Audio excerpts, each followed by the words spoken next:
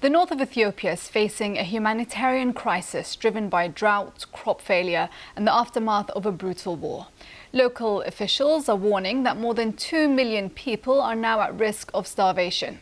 BBC Verify have been examining some of the world's uh, some of the worst affected areas rather. Here's Merlyn Thomas. Here at BBC Verify, we've gained exclusive access to some of the worst affected areas in Tigray, a province with an estimated population of between 6 and 7 million. We analysed these satellite images. This is the Korea Dam and Reservoir, about 45 kilometres north of the regional capital, Mekelle, in June last year. Systems like this can support more than 300 farmers. And this image is from last month. You can see the reservoir and the farmland it helps to irrigate have dried up because of the lack of rainfall. This is a satellite image of a displacement camp about 300 kilometres west of the dam by road.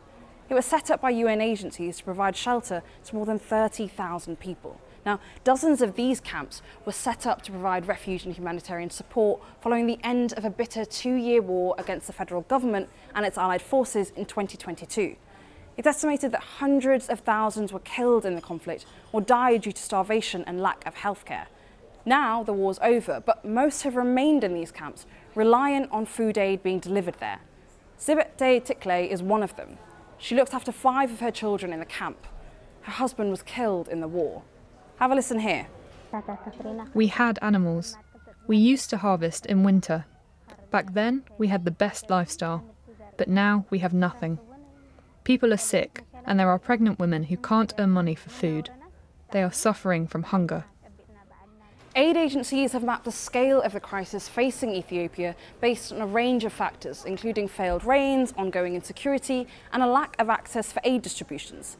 This map here shows data from the Famine Early Warning Systems Network. It has identified parts of Tigray that you can see here in dark red, as well as neighbouring regions of Amhara and Afar, as facing an emergency. However, the federal government in the Ethiopian capital Addis Ababa disputed these warnings. The head of Ethiopia's National Disaster Risk Management Commission told us that, based on official assessments, there are no looming dangers of famine and starvation in Tigray or elsewhere in Ethiopia. The relationship between the Ethiopian government and aid agencies have been strained in recent years. The UN alleged that food aid was being blocked from reaching Tigray during the conflict.